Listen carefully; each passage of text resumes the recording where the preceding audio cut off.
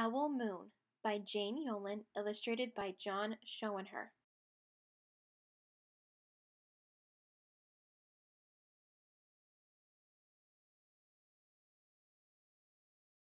It was late one winter night, long past my bedtime, when Pa and I went owling.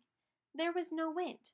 The trees stood still as giant statues, and the moon was so bright the sky seemed to shine.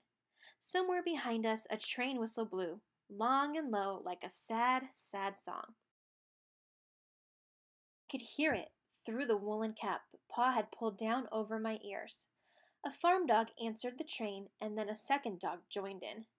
They sang out, trains and dogs, for a real long time, and when their voices faded away, it was as quiet as a dream.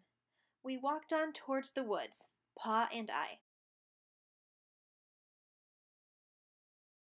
Our feet crunched over the crisp snow, and little gray footprints followed us. Pa made a long shadow, but mine was short and round.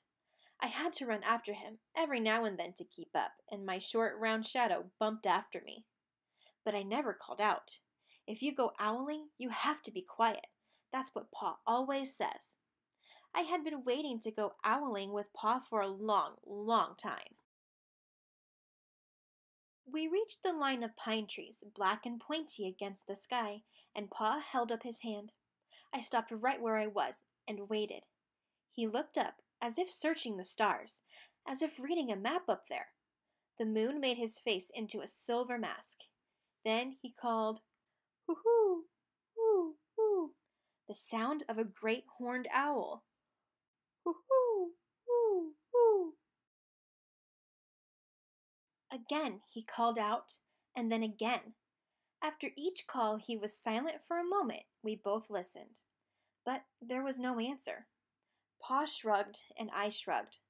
I was not disappointed. My brothers all said sometimes there's an owl and sometimes there isn't.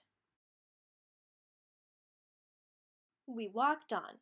I could feel the cold, as if someone's icy hand was palm down on my back, and my nose and the tops of my cheeks felt cold and hot at the same time.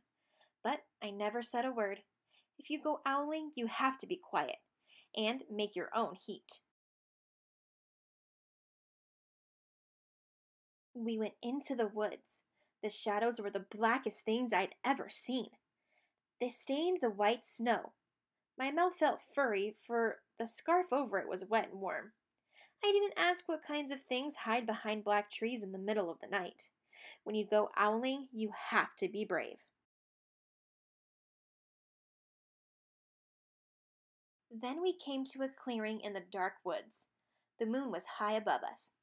It seemed to fit exactly over the center of the clearing, and the snow below it was whiter than milk in a cereal bowl.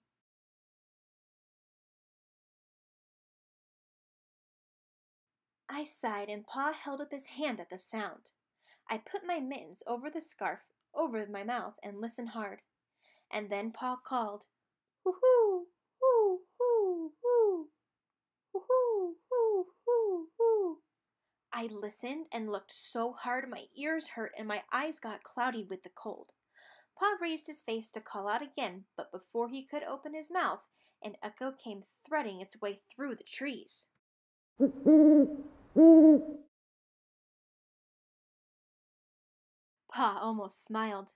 Then he called back, hoo, hoo hoo, just as if he and the owl were talking about supper, or about the woods, or the moon, or the cold.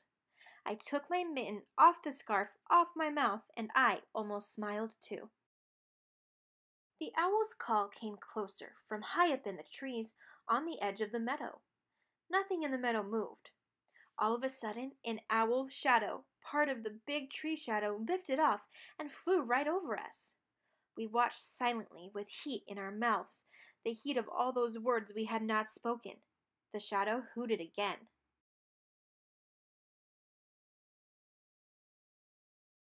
Pa turned on his big flashlight and caught the owl just as it was landing on a branch. For one minute, three minutes, maybe even a hundred minutes, we stared at one another.